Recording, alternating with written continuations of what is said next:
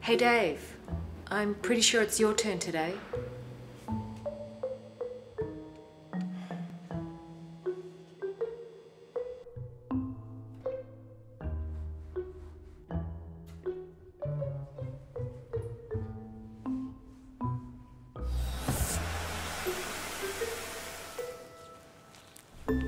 The Burnet Institute, our researchers work hard to improve health standards in vulnerable communities.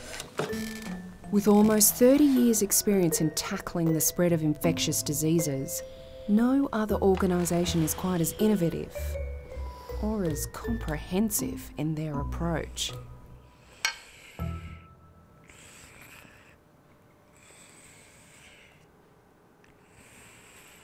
For more information on Burnet and our work, visit our website at www.burnet.edu.au. Checkmate.